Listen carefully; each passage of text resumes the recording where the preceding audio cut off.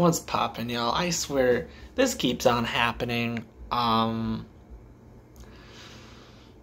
you know, it's crazy enough to think of it, but the Bucks actually make a trade that might help them or they might not. It's very questionable.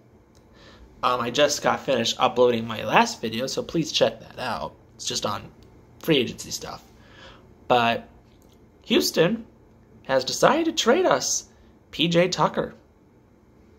Didn't think that would happen, but it did. PJ Tucker, Yordanis Kurucs, and a 2022 first round pick for DJ Augustin, DJ Wilson, and a 2023 unprotected first round pick.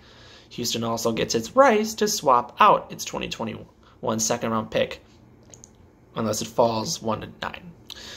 Milwaukee will actually move back a couple spots, and Houston was able to push back stuff, and that's all. And then also, Torrey Craig was traded to the Phoenix Suns for cash. So, interesting.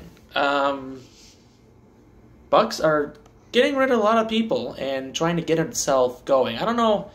I don't know. I get. I get. I see it. I see they're trying to get a lot of big men and trying to get away their guards, and it's interesting. It's very interesting what they're doing. Um, I don't know how it's going to affect them in the long run, but some people are like, why Augustin? He was doing some good things. No, he wasn't. He was turning over the ball and bricking all these shots. He was terrible. So stop saying that guy was good. I don't even know why anybody would think he he wasn't doing anything for us. He wasn't. I'm serious. He was a complete waste. Torrey Craig, a complete waste. We just gave him away because he did, we never played the guy. Um, seriously, it was a complete waste of time. PJ Tucker, I think actually it's a good thing because we got a guy that can shoot the three at times and play defense. That's a guy we need. We've been struggling with defense all year, so it's a good thing that we got him. I'm very happy about that. Kurucs is a very underrated player as well, so that's a great thing. DJ Wilson, good riddance. You sucked and you were a complete waste of a pick, so good. Um, honestly, I don't know what it means for us in the long run, but works out for me. I'm kind of.